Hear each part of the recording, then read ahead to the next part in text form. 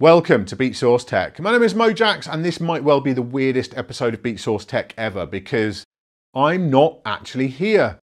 Ooh. I mean, obviously, I'm I'm here now filming this intro, but when this video is released, I'm on vacation. And the thing is, just a couple of days ago, Serato hit me up and they said, "Yeah, look, we've got version 3.2 coming. It's going into public beta."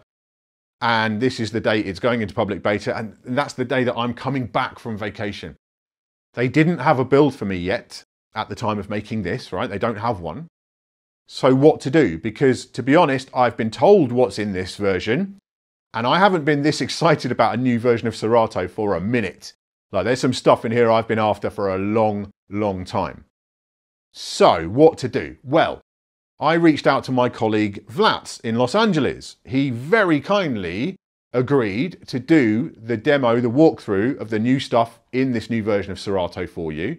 He is the guy who shoots the NAMM show videos with me. He does loads of stuff with DJcity Latino and DJcity in LA, like top, top guy, right? He knows his stuff. So he's going to do that walkthrough. And then I'm going to be watching this video on the day of release probably on airport Wi-Fi somewhere because as I say, I've been told what's in this version. I haven't seen it in action and I haven't played with it myself. So I am incredibly excited to see what is about to follow in this episode of Beatsource Tech. Vlatz, take it away. Thank you, Mojaxx. I'm very happy to share that if you're a Serato user, you're in for a treat because Serato is gearing up to unleash a big update that's set to make your DJ mixes more fun. But before we dive into the details, let's address a few important points for those of you who want to try out the beta version available on June 3rd, 2024. There are a few features that aren't quite accessible in the beta yet. For example, Serato out effects like echo out and clean echo out may not apply any effect signal when the depth knob is set below 50%.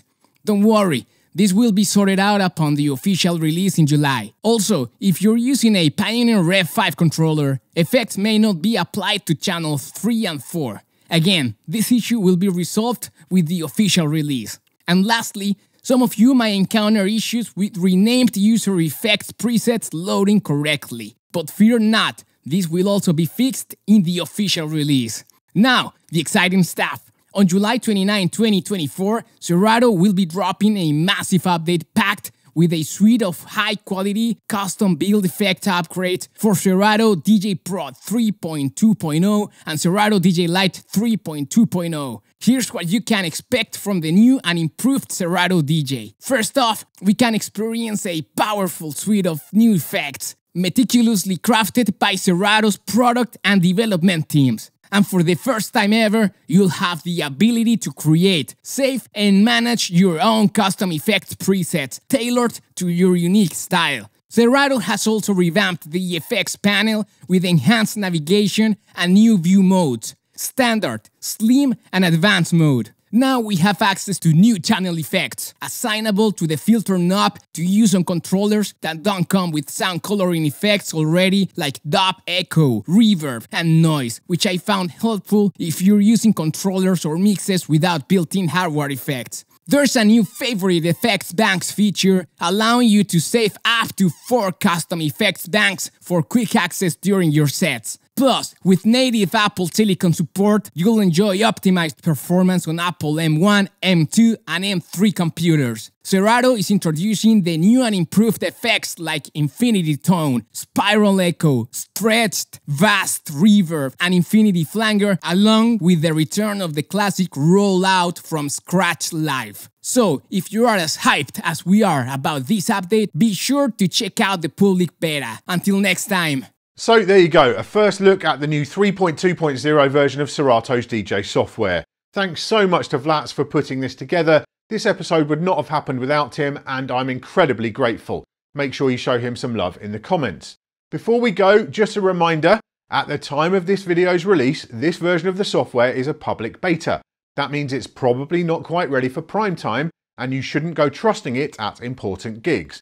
You can have multiple versions of the software installed on your computer at the same time, so keep a released version on there too, use that for performing, and play around with the beta at home or in the studio, then give your feedback to Serato in the beta area of their forum. Let us know in the comments which of the new features has got you most excited, and tell us what other new stuff you'd love to see in future versions too.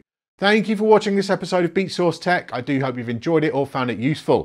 If you have, please give the video a thumbs up and make sure you subscribe to the channel so you don't miss any future videos. I'll see you next time!